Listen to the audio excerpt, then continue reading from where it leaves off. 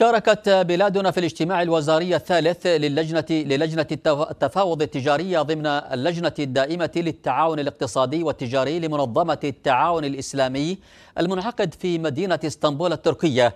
بوفد ترأسه سفير بلادنا لدى تركيا محمد طريق. وأشار السفير طريق في كلمة بلادنا إلى أهمية إنشاء نظام للأفضليات التجارية بين دول منظمة التعاون الإسلامي. مؤكدا ترحيب بلادنا بجميع القرارات التي من شأنها خفض أو إزالة القيود الجمركية وغيرها من العقبات التي تعيق تعزيز التعاملات التجارية البينية بين الدول الأعضاء.